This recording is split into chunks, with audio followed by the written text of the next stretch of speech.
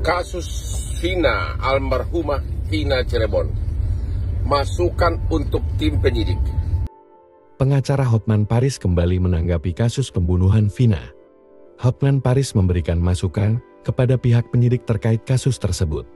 Ia menyoroti kejanggalan dalam BAP. Dalam kesempatan itu, Hotman Paris meminta agar semua keluarga di PL diperiksa jejak digitalnya. Hal tersebut dilakukan agar DPO segera ditangkap.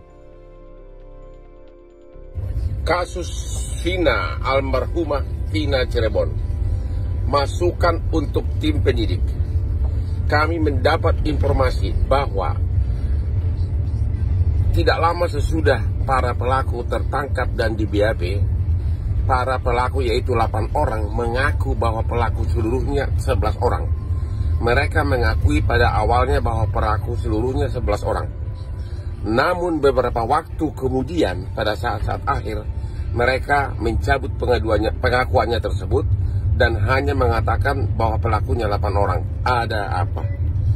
Yang kedua, mengingat budaya Indonesia yang sangat dekat dengan keluarga, maka sangat penting semua keluarga dari tiga orang DPO ini diperiksa dan diperiksa semua jejak digital dari semua handphonenya dari mulai kakeknya, opungnya, tulangnya, pamannya, bapak ibunya, saudaranya.